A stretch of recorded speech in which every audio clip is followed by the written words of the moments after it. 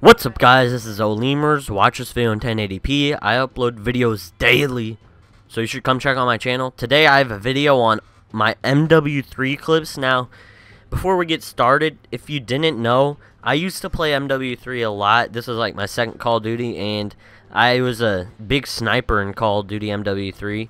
So, I'm going to be showing you my vault clips that I have, and I hope there's some good ones in there. I know there's at least two good ones, so let's get started. So in the first game, we have me going on a little spree. And this clip's 9 minutes and 30 seconds, so I'm not going to show the whole thing. I'm just going to show a little bit of it. And as you can see at the bottom, all the green is where I got a kill. So apparently this was a good game for me. And I went on some good streaks. So let's get into the next clip.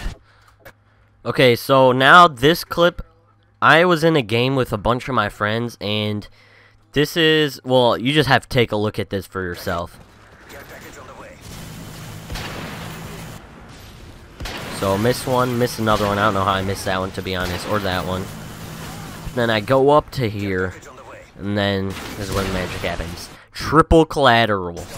Now look at this. Ray Caruth, that's my brother's friend. Or, not my brother, my friend's brother, and I'm still friends with that dude today. And, uh, it's crazy. I That was my only triple collateral I've ever gotten in my lifetime. So this next clip is actually pretty short. Um, just watch and see what happens. So I get a clat through the wall, right? Another collateral. And at this point, I was pretty furious. And actually, I was laughing when I got that. Because it's not really too great of a shot. So then I go up again, right? Now take a look at this.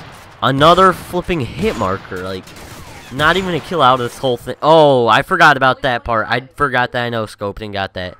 And then a brave unicorn messaged me and said, uh... I give you props for that one. That's what he told me. Now, that was a pretty crazy clip. I mean, I have a lot better clips that I'm going to show you about now. Okay, so right here is probably my best clip I've ever hit on Call of Duty. So, let's take a look at it.